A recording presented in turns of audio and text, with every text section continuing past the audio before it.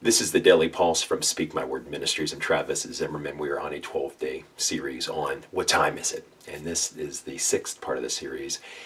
We do not know the hour, and, and specifically the hour that Jesus is coming back.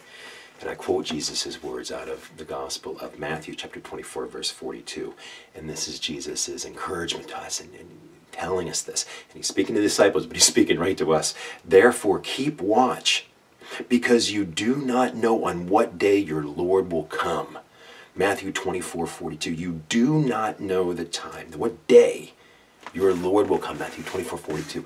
And that's the point. We don't know when Jesus is coming back.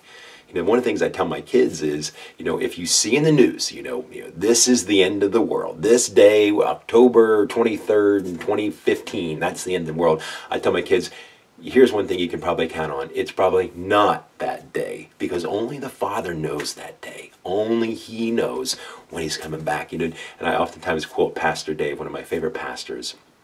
He retired from our church several years ago. People would ask him, "When is Jesus coming back?" And Pastor Dave would, would smile and he'd say, "You know, you know, I can't tell you the exact day, but what I can tell you is it's closer now than when Jesus walked the earth.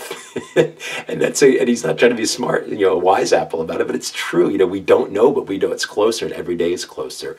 So that's the encouragement: is to trust Jesus. We don't know when he's coming back, and counter the bumper sticker that you see. Jesus is coming back, so look busy.